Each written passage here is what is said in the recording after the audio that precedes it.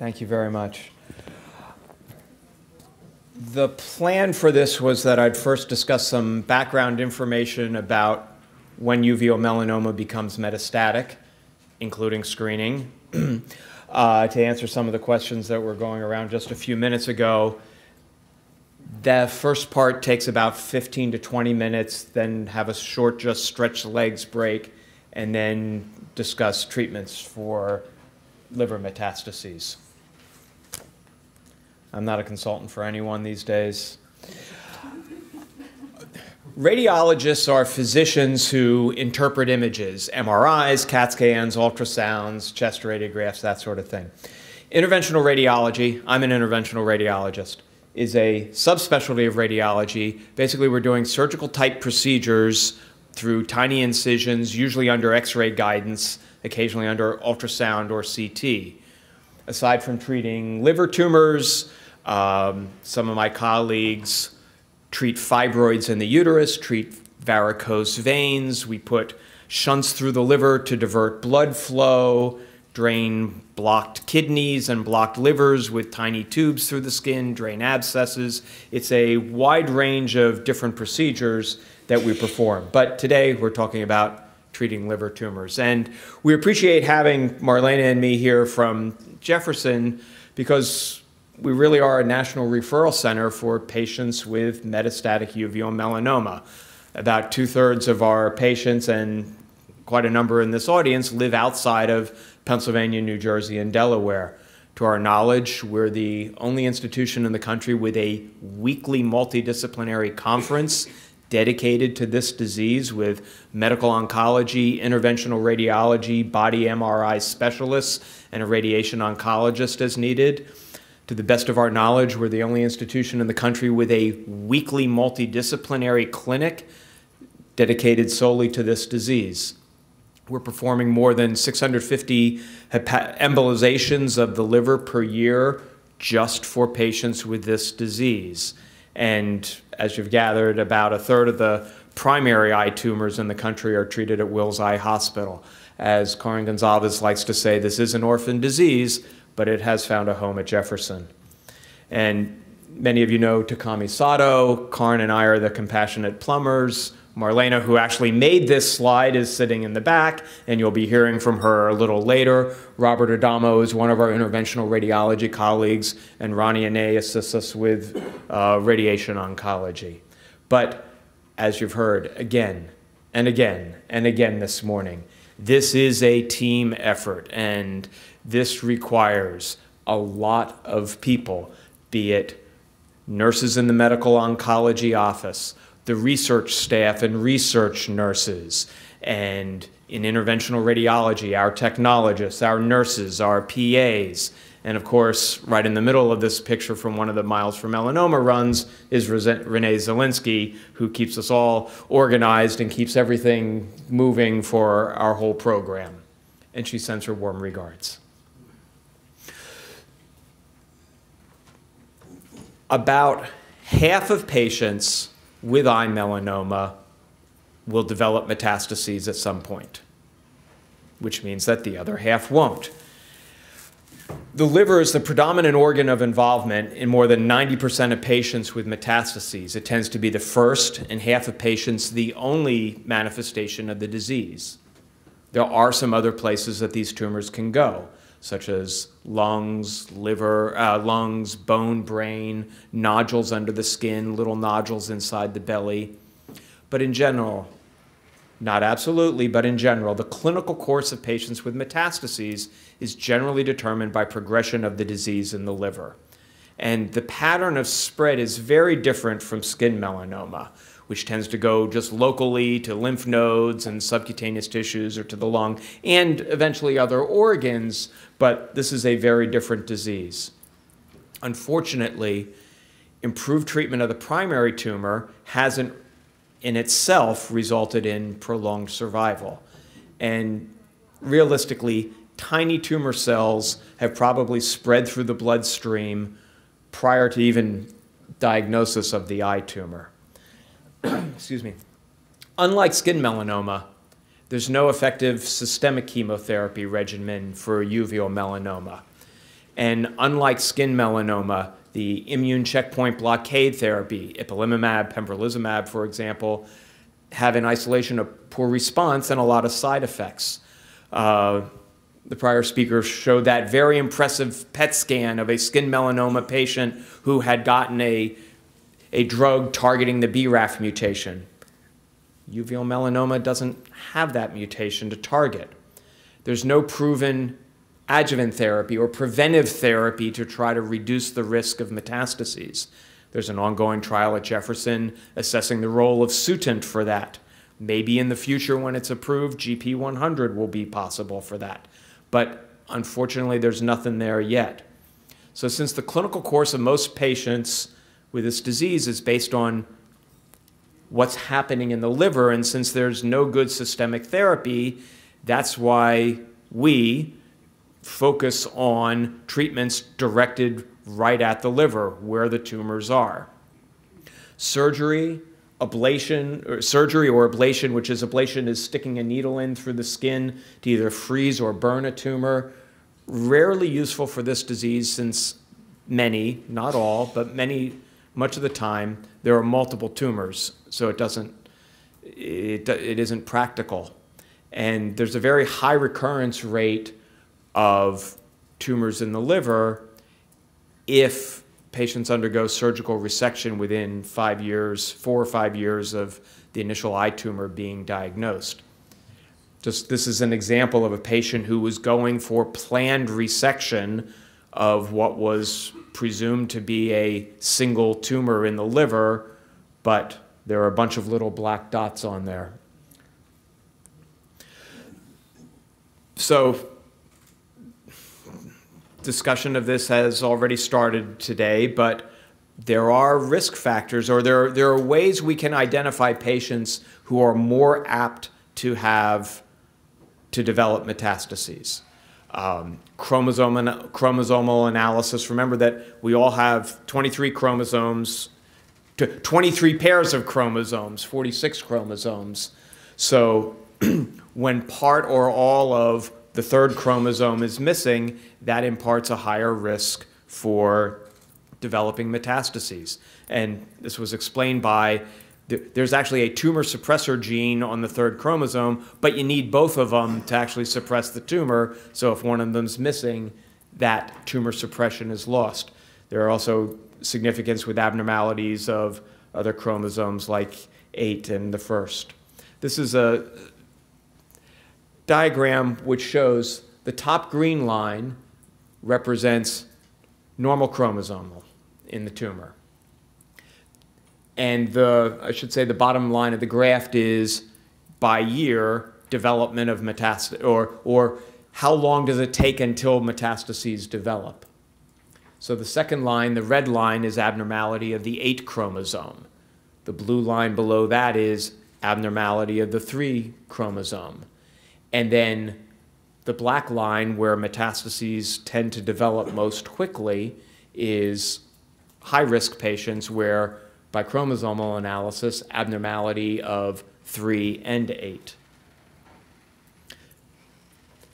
The Castle system looks at 15 genes, which genes are tiny things on the chromosomes. And as many in, the audience know, class 1 has a very low risk of metastasis class 2 has a high risk of metastasis. And there's overlap between the chromosomal analysis and the Castle class 1, class 2 uh, gene, gene expression profiling. So now that we know who's at risk for developing metastases, the next question becomes well, okay, how do we look for them? And in general, patients at high risk at Jefferson get an MRI of the abdomen every three months for at least two years, then every six months for a prolonged period. And the prior speaker was referring to the NCCN, National Cancer Comprehensive Network guidelines that came out a year ago. And looking at low risk patients, so Castle Class A, normal genetics, small tumors. Um, the recommendation is consider surveillance imaging. Certainly, if there are any symptoms or signs, then imaging is relevant. Medium risk tumors, Castle Class B, tumors that are a little bigger. Consider surveillance imaging every 6 to 12 months for 10 years, is the recommendation. High risk tumors, Castle Class 2, monosomy 3, gain of the 8q arm, uh, larger tumors, ciliary body, extraocular intent, extension. Consider surveillance imaging every three to six months for five years. So this pretty much becomes the same thing we've been doing for many years at Jefferson for high risk patients, then every six to 12 months for 10 years. This is a quote from the guidelines when they came out. So, at a minimum, all patients should have contrast enhanced MR or ultrasound of the liver. Modality preference determined by expertise at the treating institution. There's a lot of variability in the way ultrasound is performed. It's a very operator dependent um, uh, procedure. Additional imaging modalities may include CT scan of the chest, abdomen, or pelvis with contrast. However, screening should limit radiation exposure whenever possible. Scans should be performed with IV contrast unless contraindicated. They go on to add, though, and this is a direct quote, I didn't write this, recognizing that there are limited options for systemic recurrence and that regular imaging may cause patient anxiety, some patients may elect to forego surveillance imaging. We'll get back to that in a moment. Okay just to address your question about CT versus MRI. These slides come from, the, this next set comes from Patrick O'Kane, who's one of my colleagues at Jefferson. He's one of the body imagers. Note the date on the bottom, August 2010. Nice normal looking CT scan and does this work as a pointer? Uh, well, no, forget. This is the liver, this is the stomach, this is the spleen, this is the front, this is the back. Imagine slices taken through and you're looking up from the feet. So this is actually the left side of the body, this is the right side of the body. Liver looks normal. Two months later, October, see a beautiful pancreas there in the middle. Liver looks normal. December, two months later, liver still looks normal. So this is all the same patient, and this is that same patient back in April, four months before the CT scan. And you just look at the background of little white dots, particularly on the right hand image.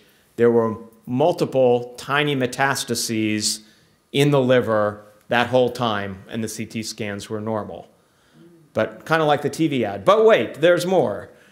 So This is a different patient. On the left-hand side of the slide are CT scans and using some different manipulation, but this is a good quality CT, and this is the MR.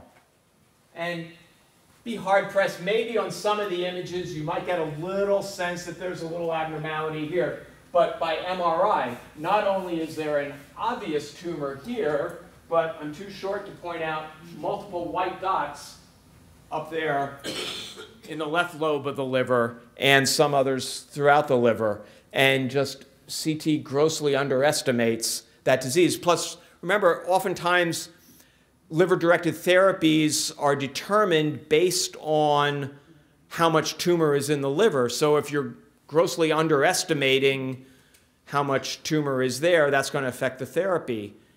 Also, may make one question clinical trials for this disease based on CT scans. A third example, and again, the CT scan, these two things are cysts, very common and very normal in the liver. With a little bit of imagination and manipulation to get on the real images, you can kind of get a sense that there might be a tumor there. But the MR shows multiple additional tumors uh, in the liver that were not recognized by CT. So we've talked about who's at high risk for developing metastases. We talked about how often to screen and how to screen. Now, what do we do? Okay. Are there any treatments? And it's kind of amazing that in 2019, we're still fighting the battle of is treatment for this disease once it metastasizes helpful? Okay, so one, I'm not involved in the Immunocore GP100. You'll be hearing about that later. Please pay attention. But even though that's still in clinical trial, we believe there's adequate evidence to support liver-directed treatments. And let's look at two examples. So looking at our friends from Mayo Clinic, they looked at 100 patients over admittedly a long period of time. And what they were trying to compare was patients who got some of these newer immunotherapy agents, uh, ipilimumab, um, and some other targeted agents, Avastin kinase inhibitors, did they live longer than patients who historically at Mayo had been treated with liver directed therapy? And the answer was no, they didn't. That, so this has nothing to do with screening, but while it was not a head to head trial or anything like that, and they acknowledged that the patients going under liver directed therapy were in a little better shape, but it's evidence that that confers a benefit. Takami Sato and his daughter, who conveniently is a budding medical oncologist, have looked at a long term experience at Jefferson. And they took one group of patients from 1971 to 1993. Okay, admittedly ancient history, but who were largely treated with systemic chemotherapy. And they compared that group to patients in this century, most of whom started their treatment for liver metastases using liver directed therapy.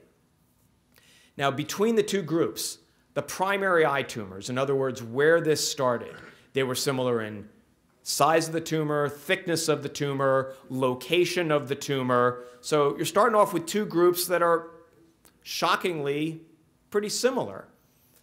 I didn't bother putting on the slide that patients who underwent liver directed therapy lived longer because one could easily argue, well, in this century they probably were screened, so they found smaller tumors, and that's the reason why.